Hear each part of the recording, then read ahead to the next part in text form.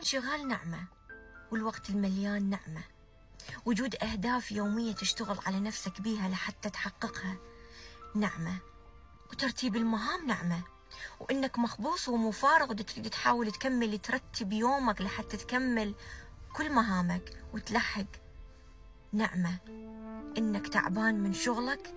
نعمة لأن الفراغ أكبر نقمة يواجهها الإنسان بحياته.